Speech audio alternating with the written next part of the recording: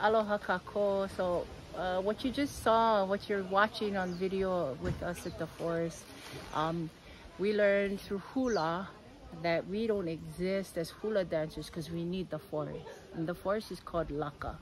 And anything we adorn our bodies with, whether it's ti leaf or anything that comes from the natural environment, we always say thank you. We always ask permission to gather from the particular uh, essence of the forest, which for us in the practice of hula is laka. Laka is another form of for, what we call forest. And so what you see, um, the students and I have done just in this video is just about saying, um, acknowledging the space and the laka and knowing that we have our, our adornments that we need because of that.